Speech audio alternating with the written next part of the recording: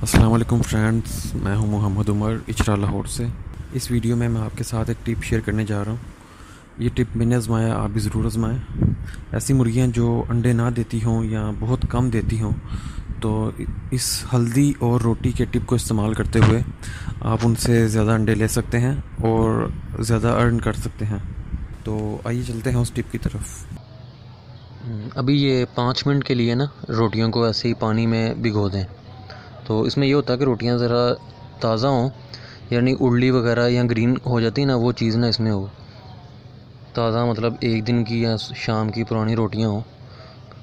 ज़्यादा पुरानी रोटी नहीं भिगोनी, ये मैंने पाँच मिनट के लिए अभी भिगोई है। ये रोटियों को भिगे हुए भी पाँच मिनट हो गए अभी ये रोटी काफ़ी नरम हो गई हुई है। अभी मैंने इन रोटियों को अलहदा एक बर्तन में निकाल लिया।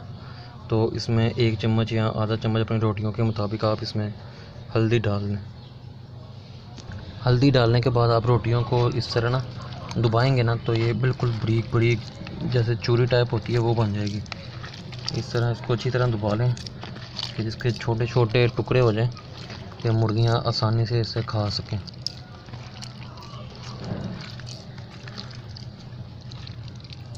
तो ये अभी तैयार है। इसमें मैंने हल्का सा पानी शामिल कर लिया। तो यानी ये आप कह लें, ऐसे नरम सा बन गया खीर टाइप तो ये भी आप मुर्गियों को डालें।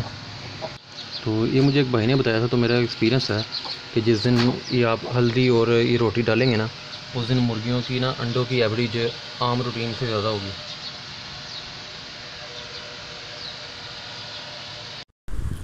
इस टोटके को आप हर तीन दिन के बाद मुर्गियों को इस्तेमाल करवाएँ।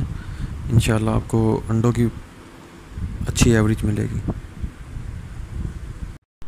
फ्रेंड्स अगर आपने अभी तक मेरे चैनल पोल्ट्री इन होम को सब्सक्राइब नहीं किया तो काइंडली फ़ौर सब्सक्राइब कर लें, ताकि हर आने वाली वीडियो आपको फ़ौर मिल सके।